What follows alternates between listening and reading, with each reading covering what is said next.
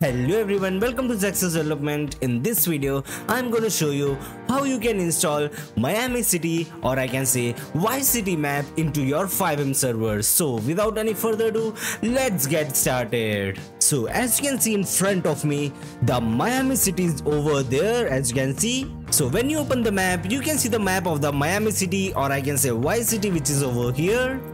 As you can see, so the installation process of the map is very simple. You can purchase the map from my Discord store. I'll put the link in the description below.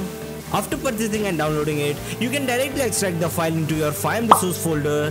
After that, you just need to ensure the file into your server.cfg. That is the process to install this island into your FiveM server. It is the one-time purchase with the lifetime access. The map is compatible with QBCore, ESX, Qbox and all the custom frameworks which you want to use into your FiveM server. There is zero quality compromise with this island. Purchase it and get some new FiveM experience. So you can see the fully functional minimap of the island over here. And this is the area where we get our first house in the GTA Vice City. You can see the neon light of the area over here. So this is our first house in the GTA Vice City. You will get the open interior map of this place as you can see. So there are multiple rooms over here and this is the main room as you can see. So let's go to this island which is over here. And on my left you can see the big mansion over here. So this is the mansion of the big mafia of the Vice City. You will get open interior of this mansion as you can see.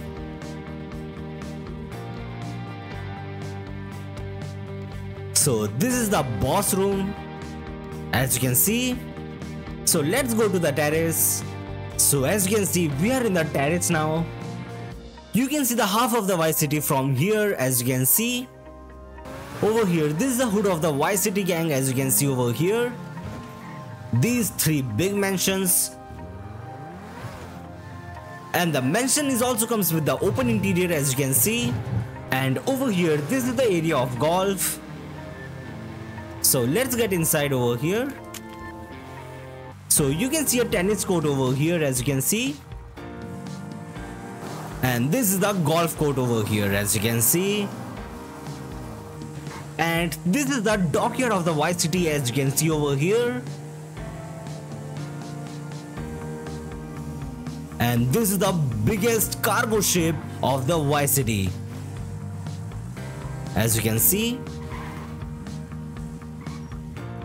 And finally, this is the international airport of the City as you can see over here.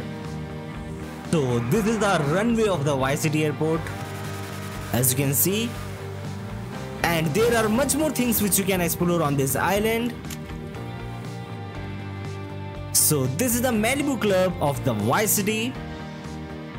So this is the whole island of the City as you can see over here and over there that is the island of the Los Santos as you can see. The installation process is very simple as I said earlier. By the way, we are planning to bring custom Y maps for this City island, so make sure to join the Discord server to get updated. You can also get the CodeWalker file of the City island from the Discord store, as you can see over here. What is the use of CodeWalker? Through the CodeWalker, you can customize the whole island according to your wish. You can customize the interiors, the posters, MLOs, props, the position of the building and props, and each and everything related to the island. You can customize them through the CodeWalker from here as you can see. Through the CodeWalker, you can add any custom Y maps and you can easily open any interiors of the building and much more things you can do through the CodeWalker. And one more thing, the first 10 customer to purchase the island will receive the CodeWalker file absolutely free. So don't miss out, secure your spot now and take advantage of this limited time offer. So yes guys, that's it for today's video. I hope you enjoyed the video. If you enjoyed the video, make sure to like the video and subscribe to the channel for more videos related to FiveM development. Goodbye.